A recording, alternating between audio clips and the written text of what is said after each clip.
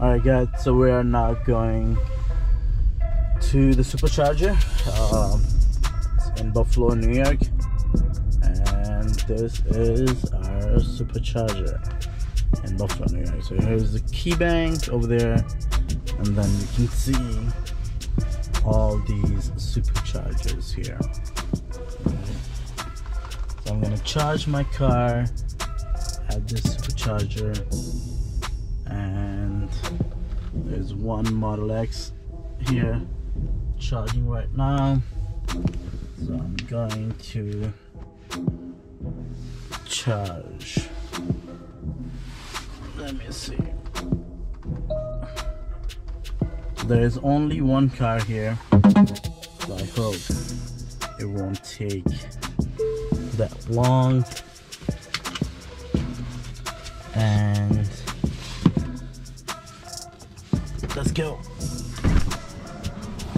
So open this part. And this is supercharger in Buffalo, New York.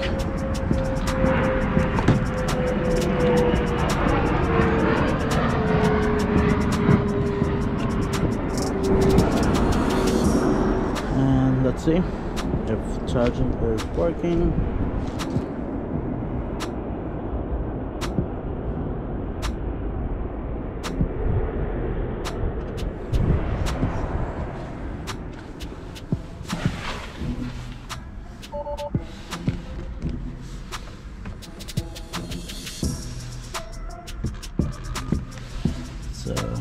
as you can see charging has started. All right. Okay so charging has started and you can see it's uh giving at least uh, 550 miles per hour and that's pretty good. I already got 13 plus miles on the charging. And this is a good location so if you I'll show you from outside so these are charging stations here in Buffalo and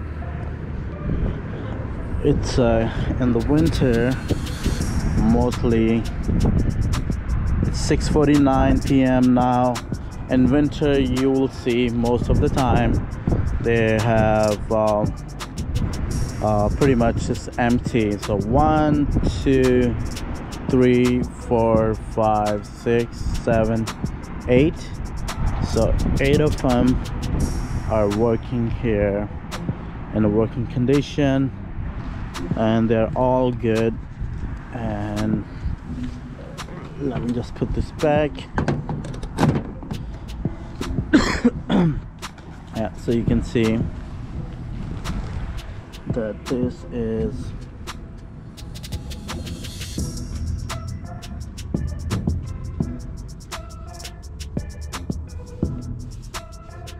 so now there is Barnes and Noble bookseller. It's a big store. There is a Starbucks inside. If you are stopping by here in Buffalo New York this is the best place nearest by. You can go for um, you can go for sorry. For washroom there there's a key bank here. Across the road there are a couple um, car dealerships. And there is on the left side there is a mall and couple shops on the left side. And here you can see the Petco.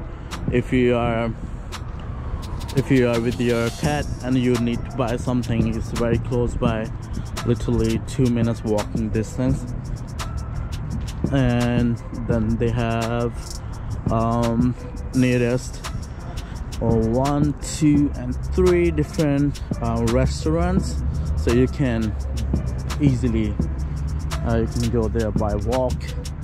There's office depot there Skechers outlet there there's uh, M&T bank right over there.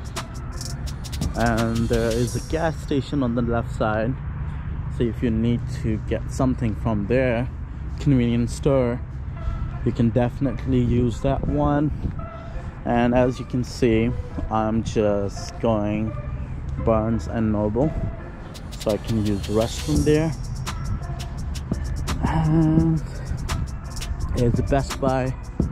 Uh, the next building is Best Buy. If you need something from there everything is pretty much two minutes drive um, by walk actually. And meanwhile I'll be back. I'll have at least 100 plus miles on my car. That's the beautiful thing. And this is the Barnes and Noble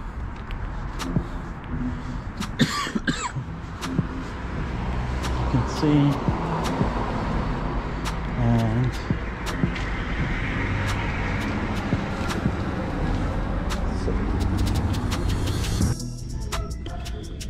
so my phone is telling me I got 116 miles now. And I guess I do need at least 150 for my trip so this is the location I'm showing you. And very nice. So once it's 150 I'm going to get um, so heading on the road. So this is the Barnes and Noble as you can see. And 120 it might will take me two minutes to go back. Meanwhile I guess our um, car will be enough charged to go and come back. So that's this as you can see they have um, um, they have this Starbucks inside. And that's the Starbucks and you can see the couple people are working on their computers. Very nice place to eat and drink whatever. And yeah. So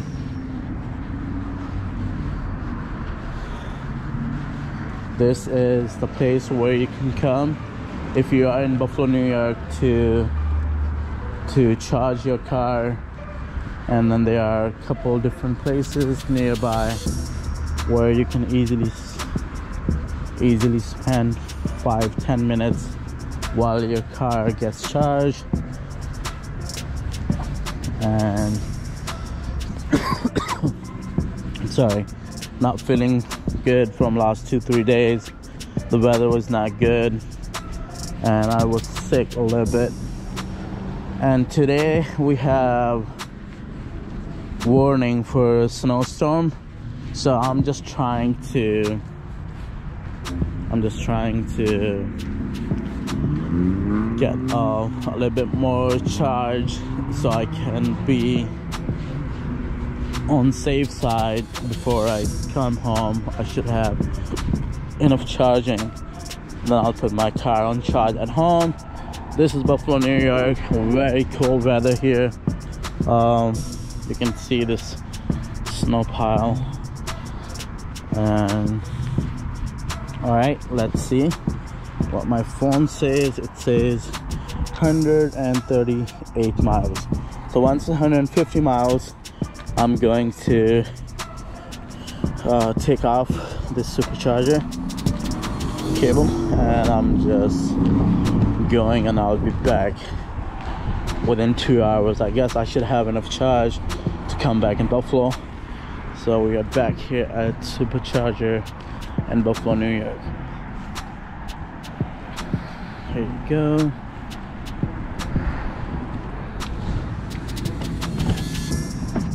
All right. Sit inside it gets very cold out there.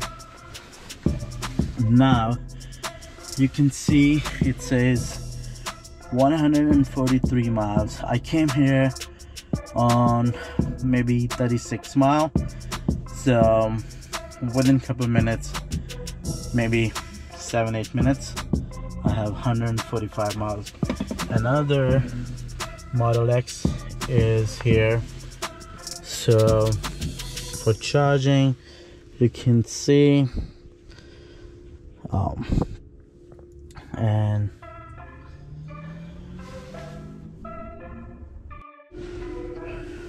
all right so we are ready to go now and there is one more thing which is very i i just uh, realized uh, when i charge this car at home it does not make that long um, noise when i'm charging but i guess over here at supercharger uh, you'll hear uh, noise like loud noise while you're charging your car so don't worry about it because they have uh, these superchargers are way powerful than your home outlet. So that's why. So let's see. Uh, let me get my direction where I'm going to and let's see.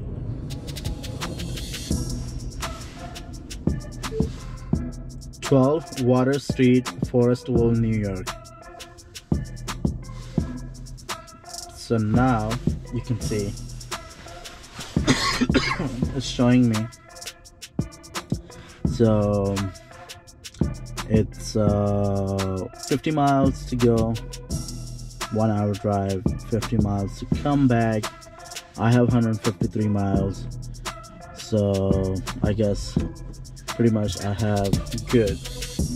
My range when i'll come back i'll still have at least 40 45 miles because of uh, weather. Um, we use uh, we use these um, car heats um, heating seats and all those stuff. So if you are using heating then definitely you're gonna if you are using heating then definitely you're gonna lose a little bit maybe 10 15 20 miles on your range. Don't worry about that. Just get extra charge so you can be home on extra charge. Uh, one more thing. When I was driving today in city uh, there was um, I was on city speed limit was 30 miles per hour and I was driving 30 miles per hour and all of a sudden uh, my car went uh, I had a double dotted uh, solid yellow lines on the left side. It was on autopilot. And as I reached to the um, intersection my car just went to the other side of the road towards the upcoming traffic. Uh, luckily, no one was coming from that side, and I had my hand on on the steering wheel, but I was it was just I was not holding tightly, so I had to just get uh, I had to get a control right away. But I just figured out that sometimes the these uh, sensors and the cameras artificial intelligence is not going to work like it should. So if you are if you are relying 100% uh, if you are relying 100% on the artificial intelligence you might will get um, encountered with um, any accident. So you always have to be careful while you're driving. Always keep keep an eye on your uh, surroundings and keep and keep your hand on the steering wheel. That's that's the best thing for the safety. So as the time is passing by they are improving the software there will be more improvements in a couple years but meanwhile you do enjoy uh, the car whatever the best is coming with the car but you have to make sure that you're always paying attention while you're driving. Uh, that's that's for your safety that's for the safety of the people who are on the road with us. So another thing is um, uh, in the winter the my main concern was for the winter season. So it's not too bad like if you are driving in this winter season it's model 3 2020 long range dual motor and maybe i'm losing 30 or 40 miles. That that's all um because because it's uh it's not like cold it's very cold weather here like minus 20 minus 30 in in that kind of weather uh, the car handles perfectly fine. Um it's uh it runs good. Even in the snow you do not feel that car has um, some issues or maybe you can't drive in the snow because uh, of electric car. I don't know if the power is gonna pick it up or not but I'll let you know. I was driving a couple days ago uh, in a snowstorm and it was very bad snowstorm. I could not make a video at that time because um, um, it was very bad and I was by myself. So if there was someone else uh, with me in the car I I might would be able to make a video for you guys. But in that snowstorm I was trying to help someone so um, there was an accident on the road. And um, uh, one lady she was coming from Toronto Ontario and I, I, I just tried to help her because she didn't know where she was going to. She didn't have uh, GPS signals uh, in this area. So I was helping her. So I was driving and she was driving behind my car. And all of a sudden there was one hill. And because of lot snow it was very difficult to reach on the hill. And um, luckily I made it. And then I just saw another guy he was coming. So I asked him he said yeah lady she is stuck down there. So I just turned my car back. I was just thinking two two three times I just thought maybe I'm gonna stuck there too.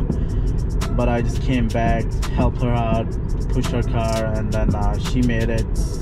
Uh, another guy he came um, he, so we both uh, pushed her car. She made it she went through and now the road was very close and on the both sides there was ditch and I didn't know that uh, how far I can go on the back and I and maybe I can turn my car uh, or not and there all of a sudden all the people were coming on the same road and like 20 30 different cars and um, I tried to back uh, drive on my Model 3 I have all-wheel tires. Uh, it's not snow tires either so but it's dual motor um, all-wheel drive long range. So believe me it's it's an amazing car. The people had very hard time to go straight up on the hill and I drove backward on the hill and I the car did not even know that if I'm pushing on the limit. So it was it was very smooth all the way up and I just turned my car on the hill and um, continued my uh, journey again. So I'm